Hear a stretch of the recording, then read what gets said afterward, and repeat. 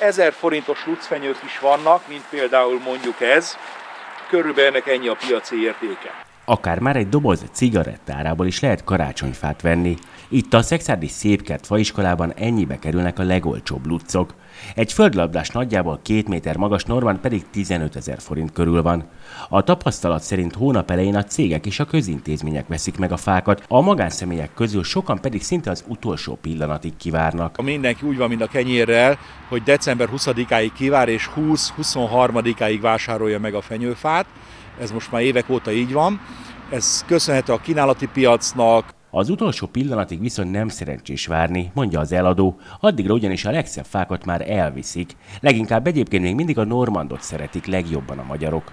Ennek egyszerű oka van, nem hullik, mutatós, formás fenyők, nyilván drágább, de, de ha úgy nézzük, egy doboz cigaretta 1440 forint, akkor ne sajnáljunk egy fenyőfára 5-6 ezer forintot. Tulajdonképpen csak le kell mondani három doboz cigarettáról.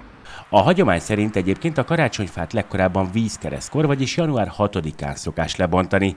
Addig még a fűtött házakban és lakásokban is szinte valamennyi fa kibírja komolyabb levélhullatás. Addig még a fűtött házakban és lakásokban is szinte valamennyi fa kibírja komolyabb levélhullajtás nélkül.